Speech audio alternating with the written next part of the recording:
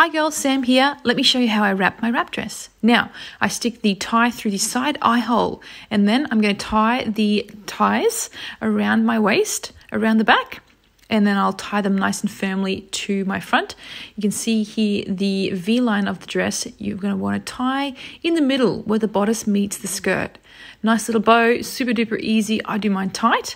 And then you can see here just adjust your decolletage as you like. Lovely fit in the sleeves, in the skirt. You are ready to rock your world. Have a great day.